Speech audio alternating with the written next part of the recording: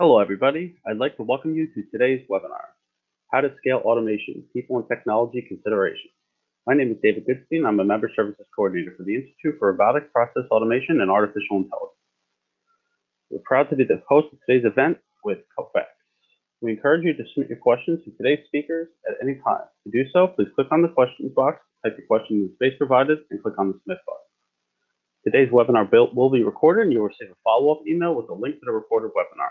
It will also be available on our website at irpai.com. So at this time, I'd like to turn it over to our moderator, Dan Goodstein. Dan? Thank you, David. Hello, everyone. Good morning, good afternoon, or good evening, depending on where you are. I'm Dan Goodstein. I, I head up the media and events business here at IRPA AI, and thanks for joining us uh, today. Um, probably the top uh, topic that uh, our members ask us about, certainly over the last three or four months, is um, about scaling, right? How do you, how do you scale this? All right, we've got we've had some success, uh, but uh, now we need to scale it. Um, and so I'm glad we're talking not only about the technology ramifications of, of scaling, but also the people ramifications of uh, of scaling today. So uh, thanks to uh, the team at Kofax for uh, supporting this and a series of webinars um, and uh, and Pinnacol, who really uh, will be helping us with uh, uh what's really more of a conversation today uh, around uh, their experience, their journey, the, what they went through in implementing and scaling. and so we have a really good kind of discussion planned to kind of give you an inside look at the inner workings of what's involved in, in really getting to scale. Uh, before I introduce uh, our speakers, just uh, a brief overview on IRPA AI. We are a professional association uh, and marketplace uh, focused on all types of automation, RPA, intelligent automation, and AI and cognitive services. if you are on the the buy side of the equation, we have a variety of education and networking opportunities, as well as proactive assistance programs for you. Uh, and if you're sort of on the sell side, uh, a variety of uh, sales, marketing, and promotional opportunities. So if we could help you uh, with anything on your journey, please uh, reach out to me or someone on my team. So let me introduce the, the speakers today. As I mentioned, we've got uh, a, a, great panel here. we have Chris Huff, who's the Chief Strategy Officer at Kofax. David Halligan, he's the Senior Director of Professional Services there. Um, and Christopher Jackson, who uh, is head of strategic applications and data architecture at Pinnacol Insurance. Um, so I'd like to ask uh, each of you to introduce yourself briefly and maybe give a little bit of background on uh, on your experience. Uh, Christopher, can I ask you to go first? Yeah, my name is Christopher Jackson, and uh, I've been with Pinnacol Assurance um, off and on over the past three years. And so my background is really around uh, history and enterprise content management and um, and what I'll be talking through today is kind of some of our our challenges and and and approaches for how we went about attacking um, RPA. Great, thanks, David. Hey, um, I'm David Halligan from Kofax. I've been with Kofax Professional Services for 11 years. Um, I look after the EMEA organization uh, solutions team. Um, we're most frequently asked about um, how a customer can evolve from um, an early adopter of intelligent automation technologies um, and build scale in their practice. Great, thanks. And uh, Chris, Chris, if you could introduce yourself, and uh, I think we'll kind of segue to you to help us set the stage for the conversation. Sounds good, Dan. Chris Huff, Chief Strategy Officer at Kofax. I've been at Kofax for about seven months five years previous to that, I led for Deloitte Consulting in the U.S. Um, public sector, the robotics, cognitive automation, chatbot, and blockchain business. Um, and in that capacity, delivered in a vendor neutral stance. So have good levels of experience across the vendor base, um, and that's what you'll be receiving today is a, a very vendor neutral um, approach. Um, but what I what I would say is that I love the fact that IRPA has, has taken this on um, in terms of addressing the scalability challenges, because this is something that oftentimes is overlooked because innovation is hard. Um, and if it was easy, then everybody would be doing it. But the fact of the matter is, is that RPA and intelligent automation is innovative. Um, it's something new. It's it's challenging, and I think some of the vendors sold it as being too easy initially, And that's why you have this sense of automation exhaustion going in um, and going across the marketplace right now. Um, because the challenge resides in scaling and the enterprise value is achieved at scale, not in small pockets of automation. And so we're addressing it head on today and Pinnacol Assurance and Chris Jackson are going to share with you how they were able to achieve scale, but more importantly, what they're doing to sustain that scale. So with that, I think we can jump right in. To set context to why, one, the technology is critical, but two, the value that it drives is to understand that it's not just about the technology. It's about the people so if you look through the lens of history, you've got the four industrial revolutions, and most would argue and contend that we are currently encroaching on the, the 4.0. And the 4.0, if you think about it, it's really the convergence of the digital economy and the physical world. And those companies and, and software vendors, frankly, that are going to be the most successful are those that effectively navigate the management of that digital economy and physical world to either drive into their industry or to take software to market to enable it. But if you think about that convergence as the digital workforce, which again are these 4.0 digital solutions in the physical world, so that people, the, the, the operations that are required to be brought together, that collectively is what I would define as the digital workforce. It is not simply the technology side of it. Um, it, it, it, it, definitely includes the people side, and frankly, as you get into change management, we'll be talking about that in a little bit. Um, that is a long pole in the tent, as some would say, the thing that needs to be addressed, but oftentimes isn't, and will really serve as an obstacle to, to scaling a program. On the next slide, what you see is that it's not just about 4.0, but it's about understanding that as we've approached 4.0, we brought forward automation, which largely was Industrial Revolution 3.0. This was bringing computers, IT, and automation into the workplace. And then we started to make things more mobile, smartphones, tablets, and that was great. But what we did while we were achieving that is we began to now realize that, wow, our data, our transactions, our people, our systems are more disparate and disconnected than ever before. And the answer that we typically have today to connect all of this are people. People sitting in the middle, grabbing data from different systems, grabbing data from different regions of the world, and pulling it together to then make sense of it. What we would position intelligent automation as is that connective tissue residing in the middle, that automation backbone that can really serve as the connector between the data, the systems, and the people. And so intelligent automation isn't a thing. It's not a point solution. It's a collection of automation capabilities that when brought together realizes the sum of parts value. And as we step through this, David Halligan is going to take it from Kofax and speak to the product and capability perspective. But Chris Jackson is the true rock star of the show today and is going to show you from a buy side, bringing it into an organization, how it actually manifests itself and the level of effort that's required to keep it ongoing. So with that, I will turn it over to David. Okay. Um, so Co- Kofax's consulting service team have worked with a good many uh, organizations who are on their automation technologies. Um, some of those organizations are trialing for the first time uh, and they're skeptical about the benefits. Um, other evaluated in the market they've um, considered to be mature, um, knowledgeable decision makers. They've narrowed their selection to one or two preferred uh, technology vendors.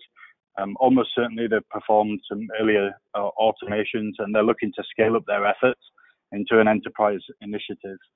Um, alternatively, um, early adopters have got tens or hundreds of automations that have been created in an uncontrolled way. Um, they're now facing a those automations.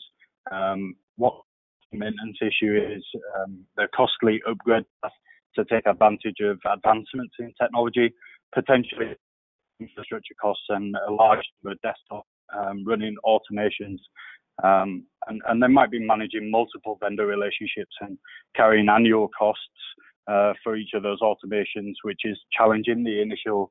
Um, so um, it starts with a manageable, scalable. Um, um, Kofax's automation platform provides this. The technology exists. It's been proven with many customer automations. Um, as Chris mentioned, it's a connective tissue between many technologies that already existed. Um, cognitive services uh, surface capable integrated, um, utilized by a browser and desktop automation, which are leveraged by the RPA platform. Um, simple, intuitive design, management, and analytics capabilities. Uh, use cases are deployed to a flexible server-side infrastructure um, or deployed to a desktop. Um, scaled on demand, can be fully hosted in a cloud environment um, as appropriate um, security and governance built in. Um, in automations are okay, more than applets, uh, maybe chatbots. The plat- platform provides a way of knowledge workers and automations so an intelligent automation platform uh, built some years of edition, which is one of the reasons that Chris uh, from chose Kofax Intelligent Automation. Chris?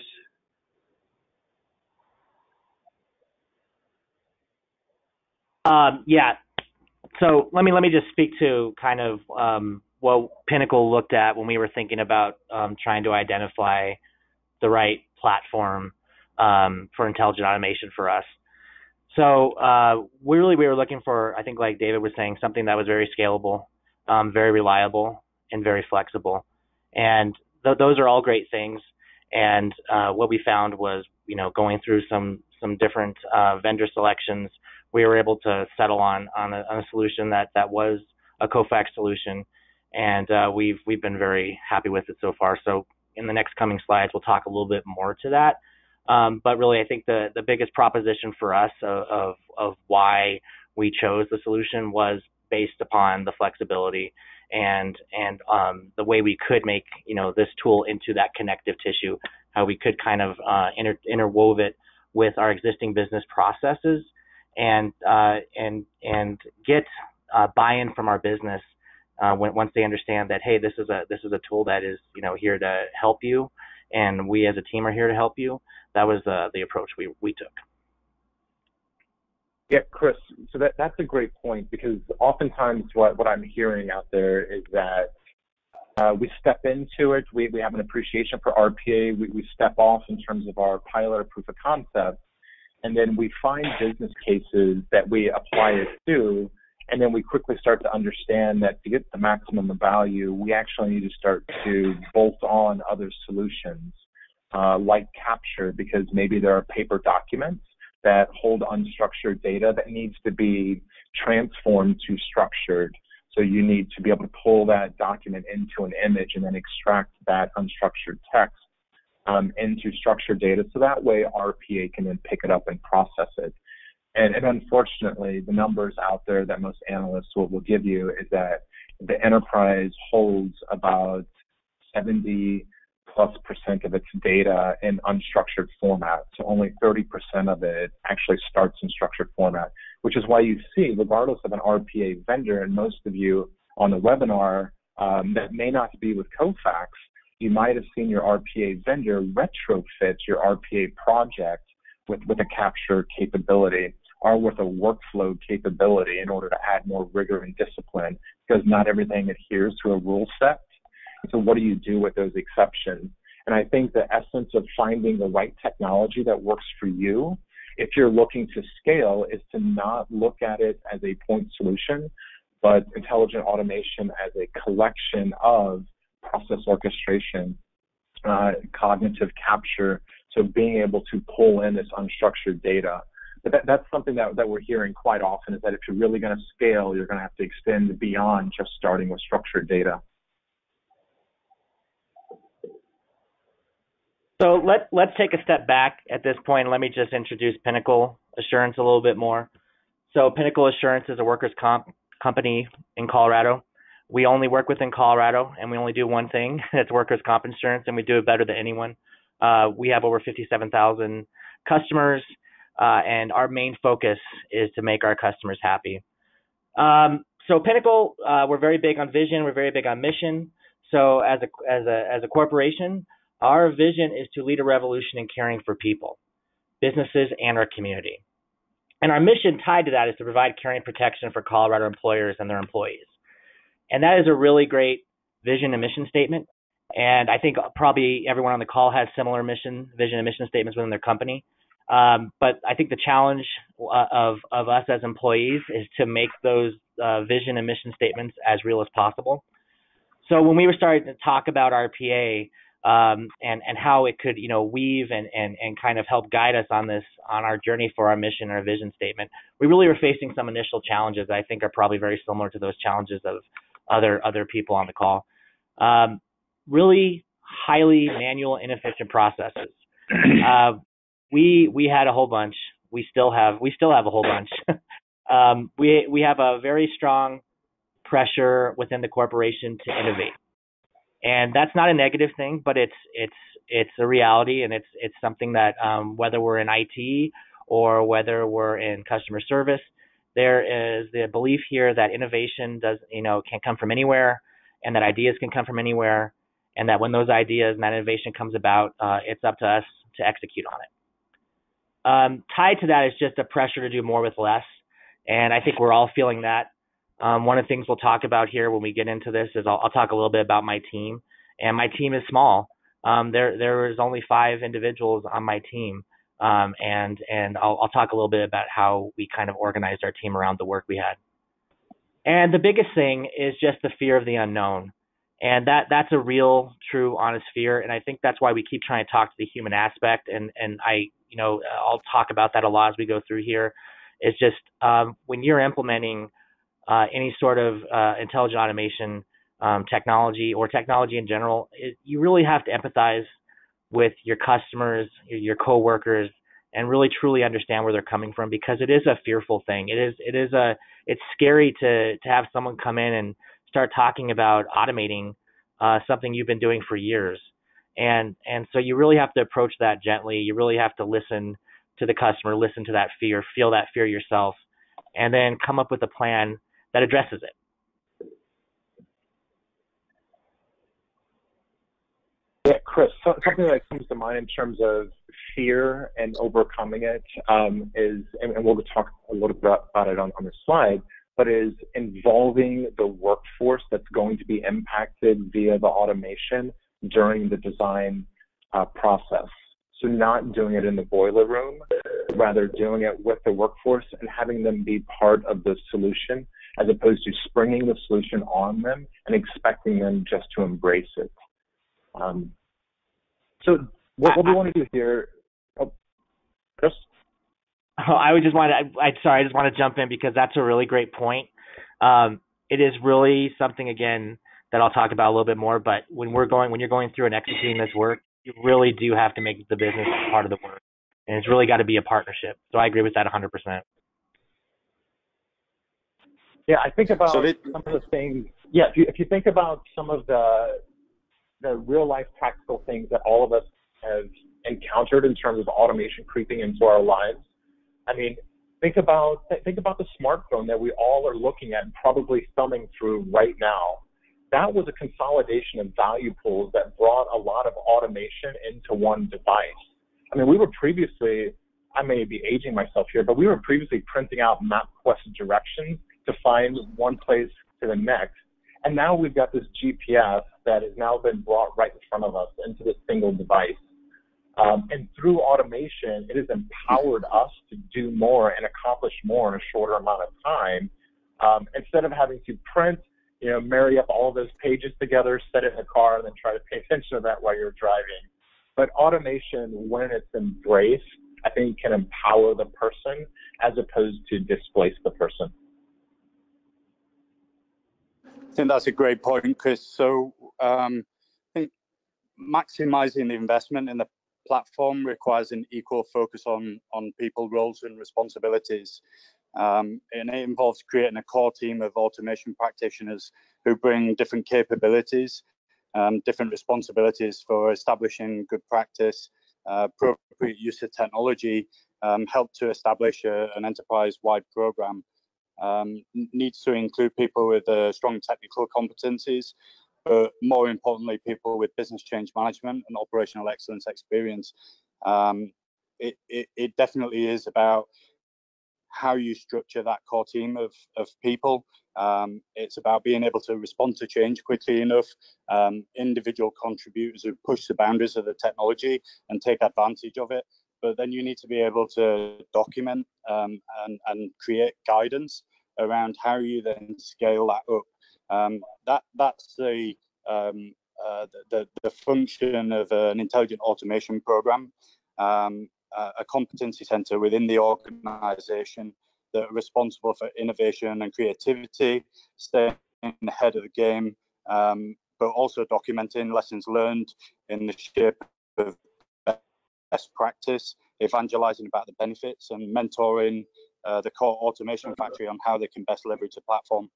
Um, I think um, not not enough consideration can be given to the people who make up that core team. Um, I think it, it is critical to identify the right individuals. Yeah, I would agree 100% again on that. Uh, and one thing that you mentioned that again kind of touches a chord is is uh, you know the creativity that needs to be enabled. And so when when when we go in over here in this next slide, I'm going to talk kind of through our work of how we went about and executed this. Um, we wanted to have a controlled process, obviously, because um, any tool that is flexible and scalable has the potential to, um, if if not controlled, you know, cause some issues. so we really wanted to, you know, organize around the work, but we also want to organize around the work in a way where we're not locking down our, our people who are using the tool and we're letting we're letting them you know be creative we're letting them be innovative we're letting them work quickly and that's a big thing that's another big thing that is, uh, you know is for us at Pinnacol is that we want to work fast we want to innovate. We don't want to stifle that innovation. So uh, what I would say is, you know, we kind of built upon those guiding principles that we were just talking about in the last slide, and we really broke out our work into our own framework, which I think any any company would do. And so I'll just talk to the re, you know the the reasons why we came up with this framework, kind of what our thinking was behind it, and then and then how we executed through it. Um, so obviously, you know, that's why we're on this call is education education is really important and that's on that's on both the side of the execution and on the business side so on on the execution side we had no ia experience we we bought the we we bought the tool we knew we want we had some use cases we were thinking about but we didn't really have any big projects lined up we didn't have people trained um, so we we kind of jumped in and said okay we, we've got this we've got this uh, nice platform we can work with now it's time to get serious about it. So let's get a plan around how we're going to execute it. So the first thing we did was start getting our, our, our team trained. So like I mentioned before, I have five team members. And so immediately we jumped in and started having the team train. Um, and we ended up getting all five of them certified. But the two, the, the first two people that we got certified were not technical. They did not come from a development background um, that was not what they did, and, and that's what I think also again is the beauty of this is that um, they they they didn't maybe have some of those constraints that sometimes uh, developers uh, we can have um, around you know thoughts and thought patterns and things like that. So that was something that was really great. We got we got them educated, we got them going, and then tied to that we were getting the business going, and we we're getting the business educated. So we're reaching out and talking to the business. This is when we start evangelizing and we really had to evangelize. So we we went about you know anywhere we could talking to our stakeholders, setting up uh, lunch and learns, um, setting up one-on-one you know meetings, and talking to them about the capabilities of what we were trying to do, and then again empathizing with them and saying, hey, we're not here to we're not here to replace you. We're not here to take these jobs away. We're here to going back to our vision statement. We're here to you know empower you to go in and work with our customers. We want you to focus on our customers and not focus on pushing that paper down the line or making sure you're going and updating that content that that the same way you do every day that comes from the same source every day. uh, once you start, you know, evangelizing and kind of building your pipeline, uh, you then have to obviously coincide that with getting organized around the work. So we touched on it a little bit in the last slide of, of, of kind of coming up with a with an IA uh, team that is is formed around the work and and their sole purpose is to execute the work and, and manage the work. And part of that is coming up with structured intake processes, stru- um, structured processes for building, and structured processes for delivery. So our, our intake process was is pretty straightforward. We reach out to the customers. We have a pretty simple um, matrix that we go through, asking questions along the lines of, uh, you know, what what are the tasks you're looking at doing? How many people are involved in this? What's the number of hours they take? What are the type of documents or content you have? What are the sources of this content? And then we have a simple matrix that that we created to try to, you know, identify how uh, plausible it is to execute uh, automation on this you know, and it's a simple one through five, and we go and grade it. And if you know the higher the better, that means it's something that you know could be uh, automation. If it's lower, you know, maybe we're approaching it the wrong way, or it's just not the you know right solution. I think we'll we'll talk some more about it, that again. It's just that this is not um, a golden hammer that's going to fix everything and and be everything for you. You have to really be strategic in how you go about executing your work. That ties into implementing and scale. So uh, we we started small, and we we execute on on small low hanging fruit.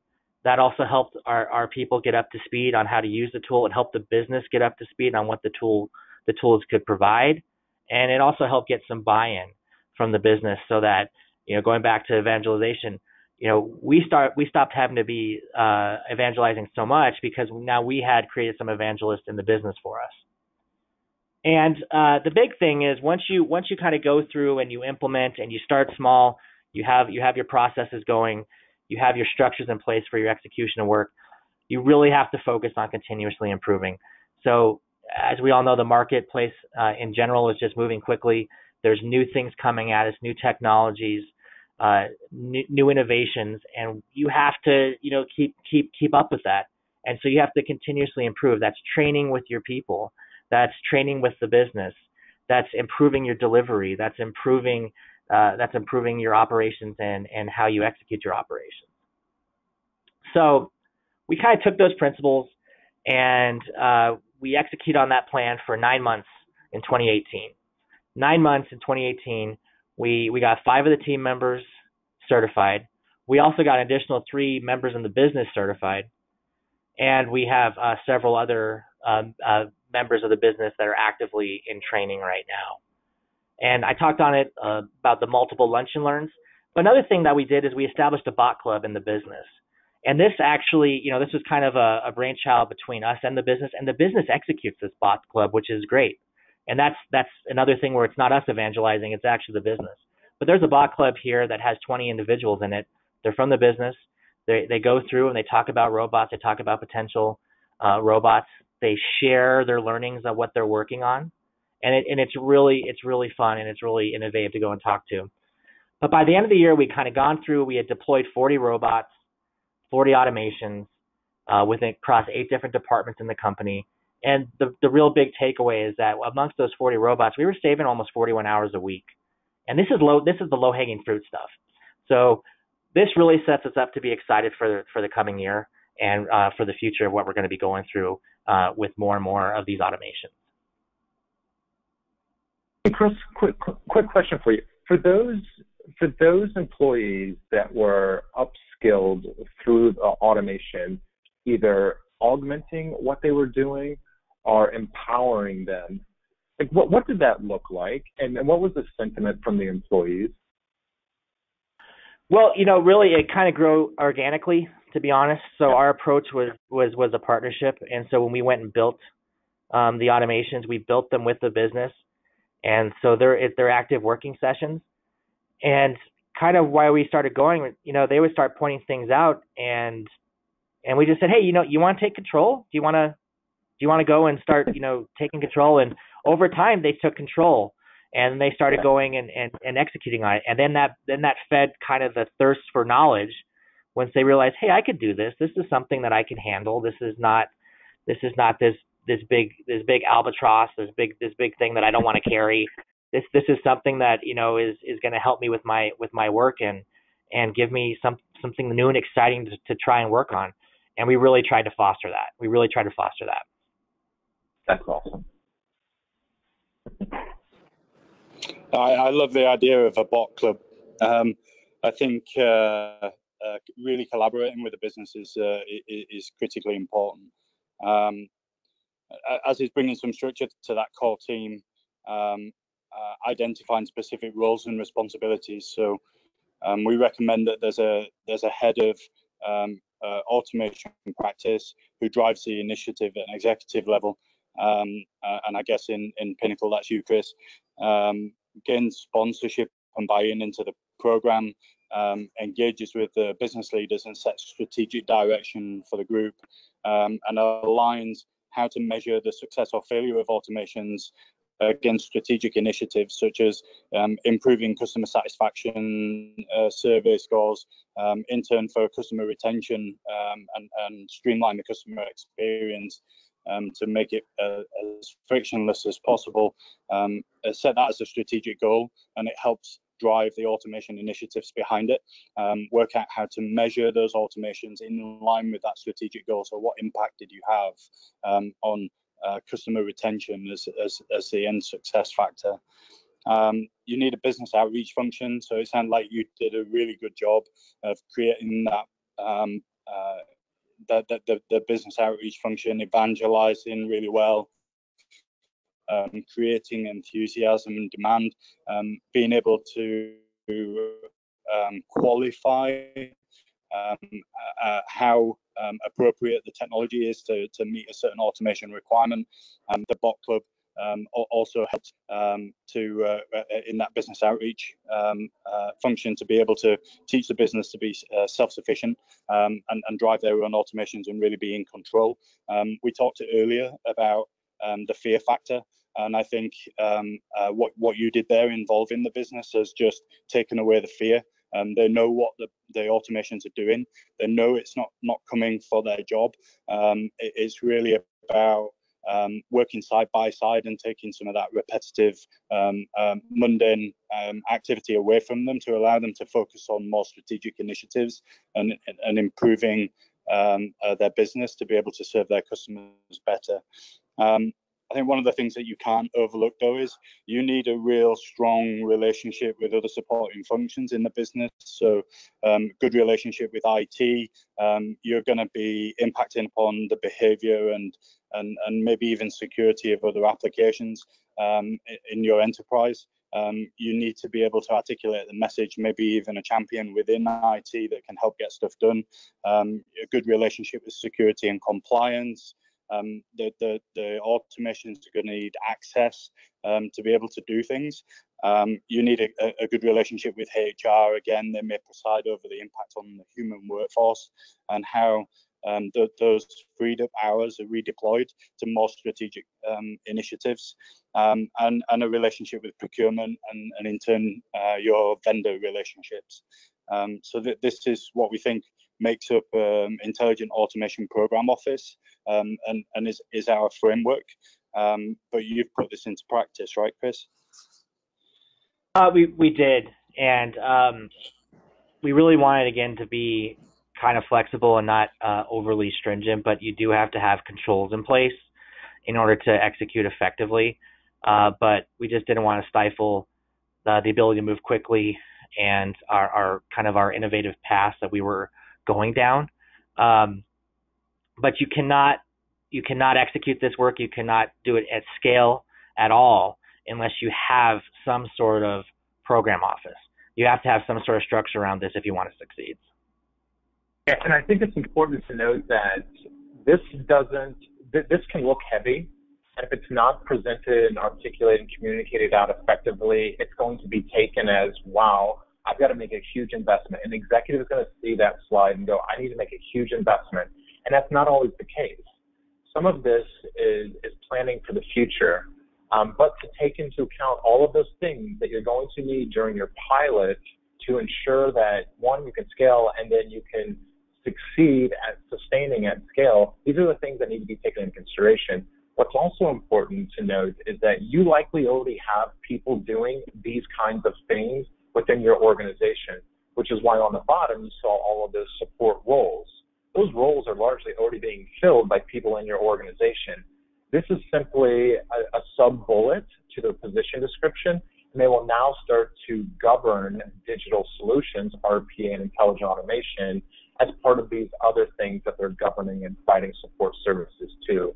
And so didn't want anybody to come away from that slide thinking that we need to hire, you know, 15 people day one in order to support this. That this model is something that you can grow into over time.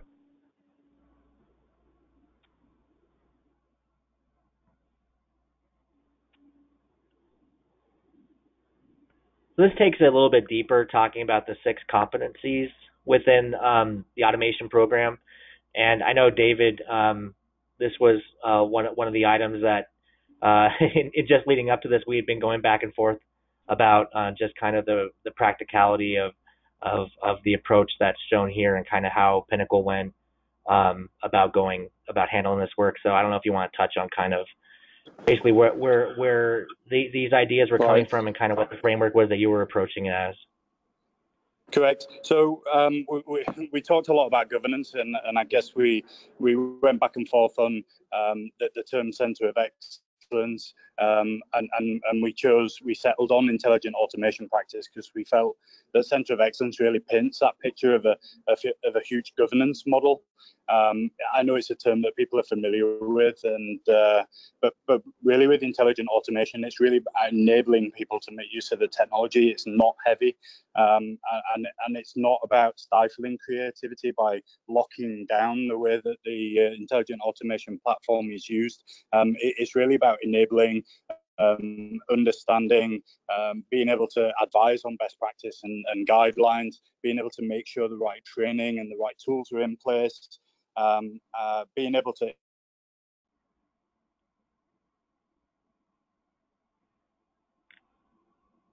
relationship with your vendor um, so, that you so that you can uh, understand what's on their roadmap and how you and, and also about how you measure the performance of those automations. So how do you have visibility over something that's just happening in the background um, rather than um, uh, you know, people move on, um, take on new strategic initiatives, and and that activity that was a, a, monotonous, repetitive activity now just happens in the background, and nobody nobody pays any attention to it. So you need um, to be able to put performance metrics and, and and dashboards and visibility around those automations so that you can see how well they're performing. Um, you also need to be able to measure the impact of those automations uh, in the business and IT landscape. So th these are the six key functions um, that, that we believe that that intelligent automation program um, uh, should perform. Uh, this is Chris Jackson, and just some things I want to touch on on the slide that I that really struck a note is um, when it comes to those metrics, that is really important, and that's also going to be what you helps uh, you know get some of that buy-in with the business. So within Pinnacol, uh, we we actually our team meets with um, the C-level executives quarterly to talk through kind of the what we've been doing and and our roadmap of of the work we're going through within uh, IA within intelligent automation. And again, that's continuing that evangelization, continuing that innovation, um, and kind of tying that all together into uh, uh, you know your continuous improvement, which is your IA program office. Chris, something that I always advocate for when building the business case, whether the business case is for your program or for an individual business area, or even as low as you know a process that you're looking at, at addressing with intelligent automation, is a holistic business case. Um, I, I use four pillars, and the reason why I use four different areas to bring together a holistic business case is that as you need to articulate, roadshow that business case, you likely are going to sit in front of the C-suite and they expect a certain level of story. You're going to sit in front of line of business leads and they're going to want a different version of that story. And then if you're talking to the workforce that's being impacted, that's a different version of the story. And so a holistic business case allows you to cherry pick um, and have the right story crafted is a, a business case that addresses the strategic alignment, making sure that your IA program aligns with the larger enterprise strategy whether that is we're going to go into new markets, we're going to add capacity, whatever that larger enterprise strategy is that the executives are really keen on driving, align your IA program and strategy to that. So strategic alignment number one. The second one is the financial impact. What are the investments needed? What are the anticipated benefits? And then the net investment. It's always critical to be upfront with the numbers, especially if you're going to present this out to a CFO and you expect to get, you know, budget and programmed in the out years. Third is operational metrics. And so this is going to be really important for those line of business leads, more on the operations side. Um, what is the added throughput? What is the increased compliance? Reduced transaction costs, transaction time, things like that. And then the fourth one that most people don't want to address, but it always comes up, and so it's best to address it head on, is workforce impact. What's the what's the impact on the workforce? Whether this is we're able to shift people, whether it is we're able to reduce reliance on contract support, um, but there is an impact to the workforce. So, so being able to articulate the workforce impact as part of that business case will allow you to have a very well crafted and, and, and concise story around the value that your IA program is driving.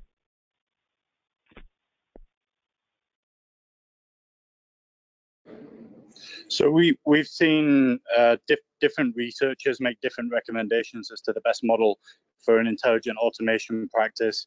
Um, some opt for a centralized um, model, some opt for a decentralized model with uh, uh, potentially an intelligent automation program office um, in each region uh, or in each business department, um, and some advocate a hybrid of both. Um, and I think the reason that um, we see a um, little bit of conflicting advice is that uh, it's actually a complex decision. Um, and there are many factors to weigh up, um, including whether it sits within an IT team or a business change team, transformation or operational excellence. Um, but one of the key considerations is how the COE is going to be funded. Um, I think you just touched on that, Chris. Um, that's going to drive a good many other decisions. Um, so we've worked with organisations where the COE sits in an IT department and is um, funded by IT as a governance and compliance structure, um, and the budget is taken care of by IT. Um, but the, the um, automation building practice sits within the business, makes use of that um, IT function, and uh, the, the business benefit pays for the automation building. Um, then we've got uh, another organisation who sat entirely within IT. Um, they were initially funded with an IT budget loan, um, which had to be paid back as business benefits were realised. Um, so that placed a sharp focus on business benefit realisation, which in turn placed a focus on selecting use cases which would drive a financial um, business benefit. Um, but what, whatever the decision is made, it's not cast into stone. So we think that most organizations start with a centralized COE model and then move to a decentralized or a hybrid model as they get to grips with the technology. I think that's how you started out as well, Chris. Uh, we did at Pinnacol. Um, we started off centralized everything in IT, uh, the budget, everything, and uh, that that's all well and good, but like I mentioned before, we we have a very small team, and so there's only so much work we can do. And when there's an appetite for more work, there's either hey, give me more people on my team, which wasn't one of the options that I had available to me, or it was try to you know build some leaders within the business that can help kind of execute this work. So we settled on a hybrid model, and uh, it's still uh, I would say you know um, funded by funded by uh, the IS department, but we do have our little branches within the business. Uh, and like I mentioned before, uh, one of our branches is actually executing the robot club. so uh, it's it's really um, the reason I like the hybrid model is it kind of gets buy-in from everybody and it's continuous buy-in, and uh, it's a, uh, continuing along the path of we're working together. This is a partnership. This isn't one group saying this is what you're going to do or this is what is not what you're going to do. And so the the work, the way we go about executing work now is, um, if the business is coming up with with with robots uh, and ideas, they're able to build those. We take a consultative approach where we go and and, and actually just do a consult uh, a consult with them on on what the what they're working on, do reviews of the work, and then when something is ready to move up the stack, we execute moving it up the stack. Awesome. Okay. So we've we've had a few lessons learned, implemented, and scaling intelligent automation. Um, unlike technologies that are the domain of only developers or engineers, um, intelligent automation use cases can be built by appropriately trained and, and skilled engineers um, uh, within the business, so operations or operational uh, excellence teams, um, um, maybe with a, a more technical uh, focus, um, uh, who've built small solutions inside the business already. Um, so automation use cases are, are, definitely more robust and impactful when they're developed alongside the business teams um, with automation practitioners that are embedded um, within within the business unit. Um, automation practitioners are, are, are, more productive that way too. Um, so it's important not to prevent the business from being able to fund their own automation building activities. Um, you just need to make sure it's done in the right way.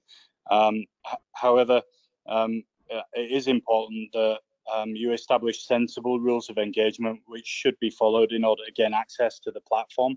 Um, training and certification, um, adherence to best practices, focus on reuse, um, understanding who to ask for help and, and how to ask, um, consider future upgradability and maintainability of the automations. Um, and you should police access to the platform. Don't be afraid to turn access off if somebody isn't operating within guidance um, and, and bring them back in check because it will have an impact on the sustainability of the platform moving forwards um, if somebody is, is uh, operating in a, in a, in a non-sustainable way. Um, we think that you need to have a, also a focus on breaking down use cases into much smaller chunks um, that can be delivered um, because that, that, serves two purposes. One is um, you're more likely to create smaller reusable assets that you can put into your assets library and then accelerate future automation building.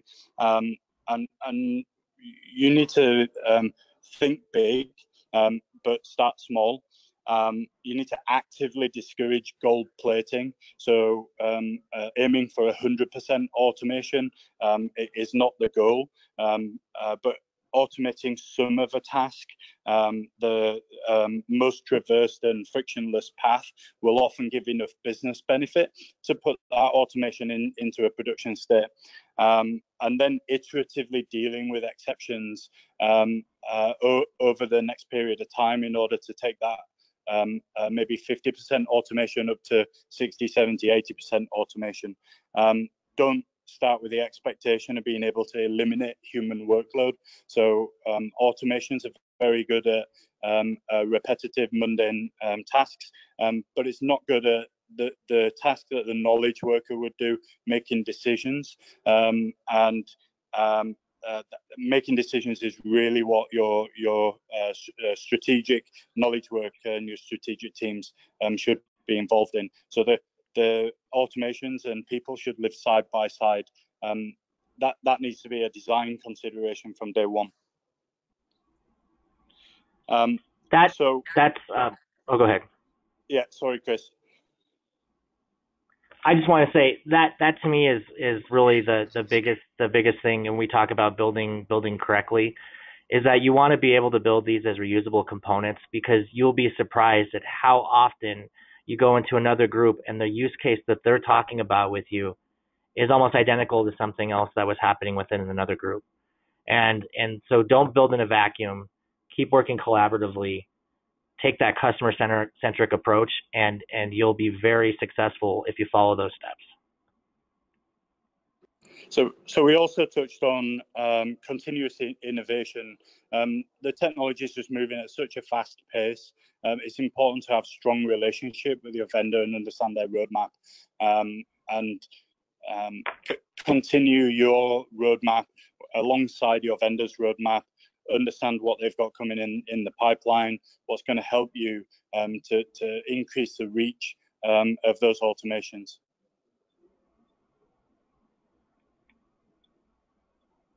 I agree 100%. Our our roadmap basically focuses on the items that are up here. We are really looking this year now to extend our automation for chatbots. Uh, we want to start working more with our data scientist team that we have within Pinnacol, and then we want to start more uh, getting into the cognitive uh, recognition using kind of that document uh, management OCR type technology that's now becoming available and leverage that to our the best we can.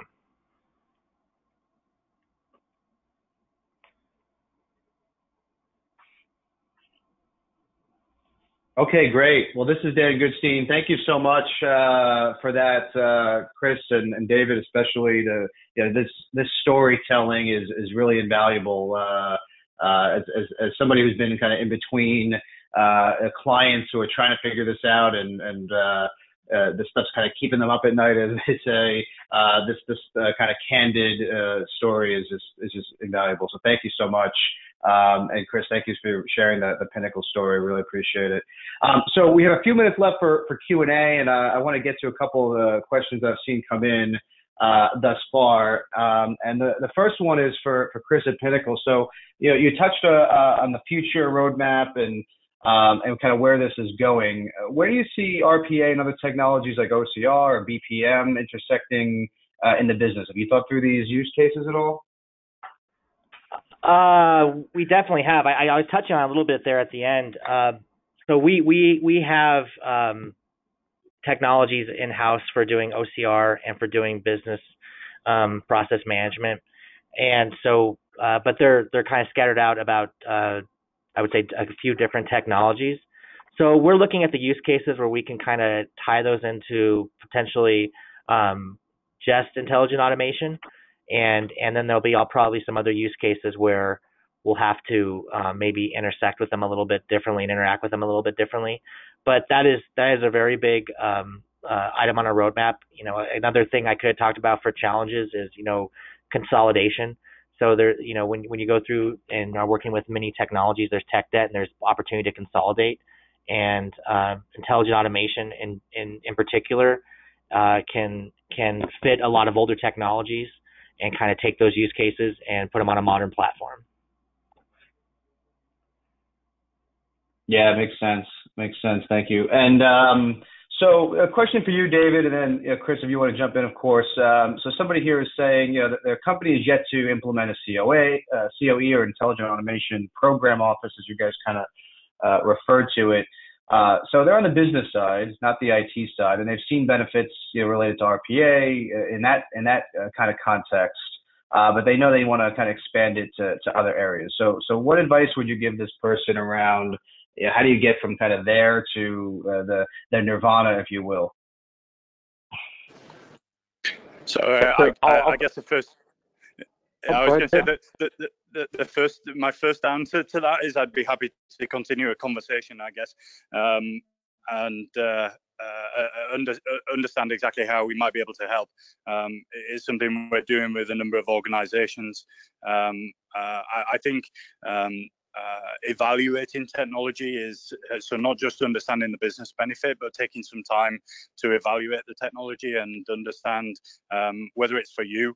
Um, so we we offer a, a, a downloadable uh, version of our RPA platform. Um, that that might be a place to start. Um, uh, you can use that to um, evaluate whether whether the, the automation use cases can be automated.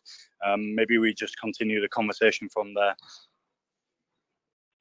Something something I would offer up is if you've already proven out RPA and you're looking to extend further, my guess is that some of the use cases that you've already applied RPA to you could very, very easily extend the automation, the end-to-end automation, and improve the return on investment um, by starting with something you've already you've already incrementally through RPA re- realize some some benefits from. An example would be, uh, let's say within a CFO function. I know a lot of you are likely starting within a CFO function just due to the volume and the rules-based nature and repetitive nature of that work. The CFO function within an enterprise is a target-rich environment. So within a CFO function, let's say you're going to do something within record to report, or say it's P2P, purchase to payment. Within purchase to payment, requisitioning materials or accounts payable is something that we see all the time. Now, what we see though is when you only apply RPA to accounts payable, your starting point for your RPA project is structured data, and you've automated from that point forward, and that's great. But there is likely, if you move left of that un, of that structured data, there is a lot of unstructured data, documents coming in from various vendors that you just excluded because RPA couldn't pick it up. So starting with a process that you've already automated with RPA and evangelized, so, so articulated the business case to external stakeholders, and you've got them bought into that, I think extending off of a quick win as opposed to trying to bring something heavy and, and apply it to something net new is the way to go. It's good advice, Chris. Good advice. Thank you. Um, next question, uh, Christopher. So, uh, can you talk a little bit more about the, the challenges you faced from a from a technology perspective? Things like integration, exceptions, uh, you know, maybe handwritten content, any user and, and any user resistance uh, during the rollout. Can you talk more about that? Um, you definitely face user resistance, and that's where uh, when I'm talking about you know being empathetic with the business, you you kind of have to get in, in their shoes. Um, but uh, part of that was part of the reason why we actually wanted to start small and get kind of a groundswell going. So we started small, went with several small projects, working with the business, getting their buy-in. Then we did a um, a corporate wide lunch and learn so that we the business could present the work that had been done and talk you know talk to the the results. And so it wasn't us up there kind of pushing the technology or pushing the work. It was the business driving it. Um, but even you know even with that, whenever you're going and doing implementations, there, there's going to be challenges, and you just have to be very pragmatic in, in how you approach those, and um, and just uh, be very gentle in, in your conversations, and, and and very strategic in your thoughts and, and your executions of those. Um, the other the other thing I would say is around integrations is that we've actually found the tool to be very flexible for integrations and so we, we haven't run into any. We've we've done very many use cases of of uh, using our uh, um, RPA as a as an API, using it as a web service, using it for desktop automation, um, using it for integrating uh, items into Salesforce, for example, or into Oracle databases. And so it's been very flexible, and that is one area I say we really haven't had too much of a problem with. It's um, it's been it's been very successful, and we haven't had any pushback from the business or on the IS side around that either. Chris, a real life example of one, that's something we did with uh, to eliminate the fear factor, to mitigate it, if you will. Uh, this was with the U.S. Treasury. We're building a financial management shared service center using bots, not butts. Um, so, and that, that's trademark, so you guys can't take that. So, we what we wanted to do there is that the workforce the workforce had that, that, that fear of uncertainty, as all should. And to your point, Chris, being empathetic and understanding that, addressing it up front is the way to go. What we do is if you sit down with the people that are going to be impacted by RPA at the beginning of that pilot, and you and you use just your iPhone and you record um, a sit down session, just ask them questions. What are your thoughts on RPA? You're going to see that they are going to lean back away from you, arms crossed, and they're going to articulate this fear of uncertainty, and you're going to see it on their face. Same thing. This was a 12 week pilot. Six weeks in, record the same thing. Ask the questions around, hey, now that you have a chance to be part of the design and the develop phase of this, and you're starting to understand the value of it, what are your thoughts on it? You're going to see them lean in a little bit more. You're going to see them start to crack a smile and talk positive about it because now they're educated on it. Same thing at the end of the pro- project when it's been in production? Do you see value moving forward of RPA? You're going to see them totally lean in, smile ear to ear, and talk about this robot as a coworker.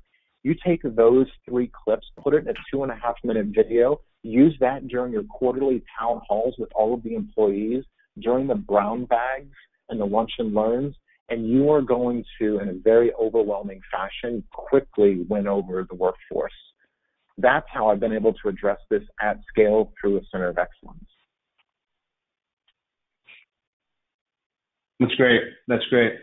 Well, gentlemen, we have to uh, leave it there. We're just about out of time, but uh, you know, thanks again, Christopher, for, sharing your story, and, and, and, thanks to our friends uh, Chris, David, and the whole team over at uh, Kofax for supporting this series and uh, a lot of the different activities we do here at IRPA. We really appreciate uh, your support. Uh, for those of you who want to continue the conversation, we will make our team and the, and the Kofax team available for any questions that we didn't get to. Um, and uh, on the upcoming event side, we've got a, a couple uh, more webinars planned for uh, this month. Actually, both of them revolving around the, the contact center, both from a buy side perspective and a service provider uh, perspective. So check those out. Uh, and we have our uh, Digital Oasis Roadshow series coming to a, a city near you. So take a look at that schedule. Uh, hopefully, uh, you can join us at one of our face-to-face uh, member events as we kind of hit the road uh, for the first half of the year uh, and uh, get the story out. Scale will be a big part of that um, that conversation as well. So, thanks everybody for joining, and thanks again everybody who participated today.